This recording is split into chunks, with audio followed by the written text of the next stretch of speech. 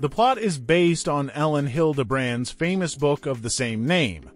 The story centers on the preparations for Amelia Sacks's wedding, which promises to be the most glittering social event of the year. But plans are ruined when a body is found on the beach. The events unfold on Nantucket Island in Massachusetts.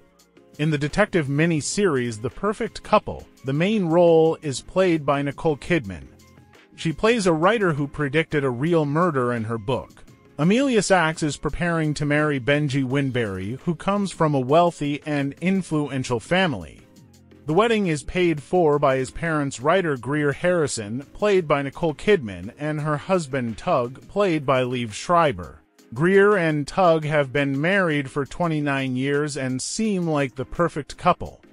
Emilia and Benji's dreams of a beautiful wedding are shattered when a dead body is discovered on the beach.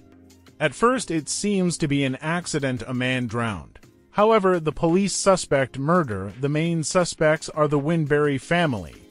During the investigation, the family's dark secrets come to light and Amelia realizes that they are not as perfect as they seemed. Strangest of all, the tragedy follows the exact plot of one of Greer's novels. It is suspected that the Winbury family has hidden skeletons in their closet, the Perfect Couple is based on the novel by Elin Hilderbrand, released in 2018. The press calls the author the queen of beach reading, as her books are great for vacations. The showrunner is Jenna Lamia, known for Shutter from Outer Space, and the director is Susanne Bier, known for Playback and Bird Box. The cast also includes Dakota Fanning, Michael Beach, and Jack Reynor. The Perfect Couple will premiere on September 5th with a season consisting of six episodes.